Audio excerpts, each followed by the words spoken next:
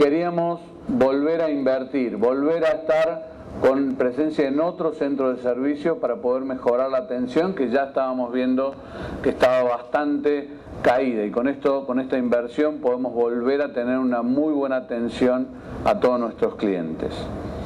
Nosotros a través de estas inversiones que estamos haciendo con los centros de servicio somos el principal banco privado que, eh, que tiene el servicio jubilados y pensionados del país. Nosotros hoy estamos atendiendo a un millón de argentinos y argentinas en, todo, en toda la región, en, todo el país. La, verdad que eh, es un orgullo que el ANSES nos haya confiado este servicio a todo, eh, para toda esta gente en, en todo el país. Nosotros estamos siempre pensando y tratando de mejorar la atención a nuestros clientes.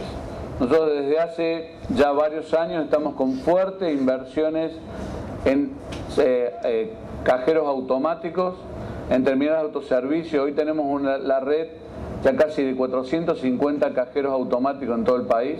Es una de las redes de mayor crecimiento en la Argentina. Y a esta inversión que estamos haciendo, dentro de poco estamos instalando en todos los centros de servicio el, lo que nosotros llamamos un sistema biométrico para poder agilizar la atención de, de, nuestros clientes en los centros de servicio. Vengo en nombre del Intendente Municipal, doctor Héctor María Gutiérrez, a,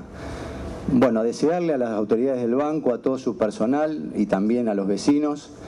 que esta nueva prestación que ya está en funcionamiento hace un buen tiempo, contemple digamos, lo que nosotros en Pergamino eh, entendemos son eh, las mejores prestaciones de servicio, sobre todo por el segmento que el banco atiende, jubilados y pensionados en nuestra ciudad, con el centro Banex, y entendemos que esta decisión de descentralizar la gestión, de mejorarla, de ponerlo más cerca de cada uno de los vecinos, va en sintonía con lo que es al menos la idea que nosotros tenemos también de la descentralización administrativa que se va realizando paulatinamente.